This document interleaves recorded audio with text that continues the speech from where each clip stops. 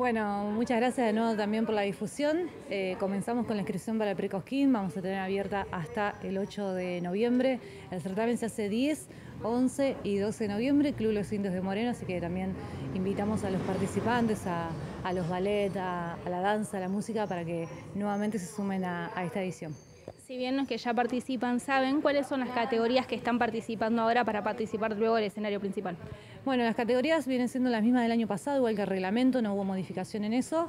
Tenemos 12 eh, rubros, solista vocal, dúo vocal, conjunto vocal, solista y conjunto instrumental y tema inédito. En música y en danza tenemos pareja de baile estilizado, pareja de baile tradicional, solista de malambo, conjunto de malambo y conjunto de baile folclórico.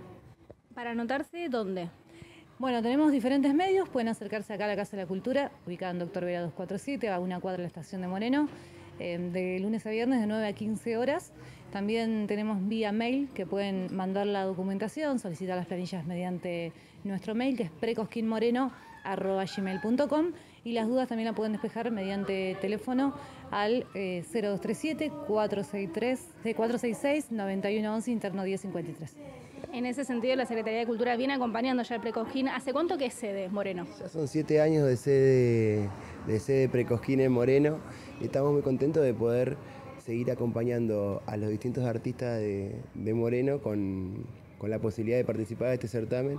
Y también muy importante remarcar que de Moreno somos la sede que garantiza estadía y viaje a los ganadores. Eso está buenísimo y que también por una edición política de nuestra intendenta se pueda seguir sosteniendo.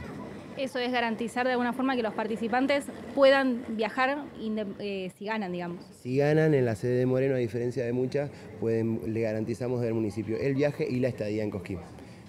¿Cómo viene siendo la convocatoria en los últimos años? La convocatoria viene siendo muy buena.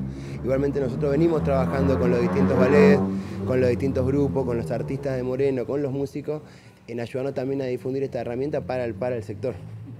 En ese sentido, bueno, recordamos hasta cuándo hay tiempo y en qué horario se pueden acercar a la Casa de la Cultura. Tenemos tiempo hasta el 8 de noviembre para escribir y la Casa de la Cultura está abierta de lunes a viernes de 8 a 4 de la tarde.